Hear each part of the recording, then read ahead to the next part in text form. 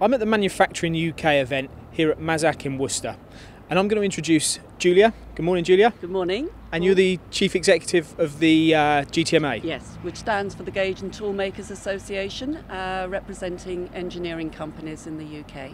Okay, and what about the history about the association? I'd be interested to know a bit more about that. Well, it's been formed uh, over 70 years uh, for the tool makers and gauge makers in the uh, UK.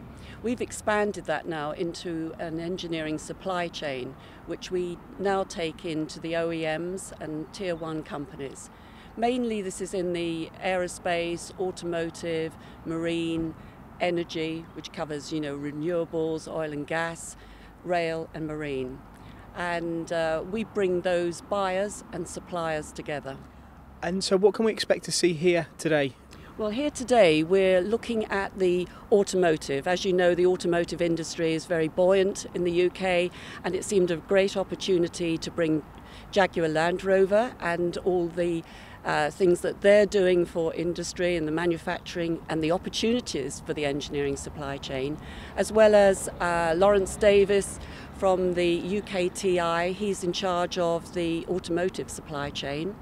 And we've got um, uh, Geraint from uh, Lotus Lightweight Structures. So it should be a very interesting day with the automotive industry and how it's high flying. You know, we, we export a lot through the automotive industry, so bringing real money into the UK.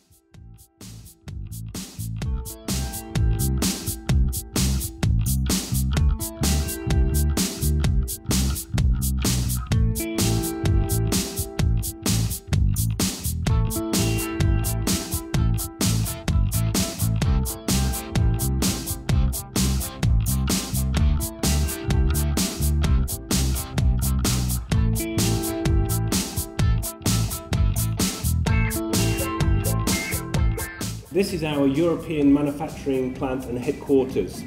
And we have around 450 people engaged in production alone here. Um, and uh, we export around 85% of what we make here to continental Europe. And 15% or, or thereabouts stays within the UK. And 50% of the Mazak machines that are sold in Europe are made here in Worcester. Um, and in, in our last uh, know, 25 years or more than that now, we've made more than 25,000 machines here.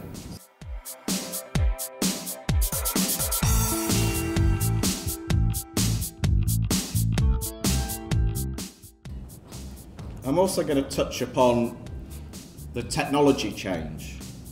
We also need to differentiate ourselves not just in the product but in the technology that's within the product.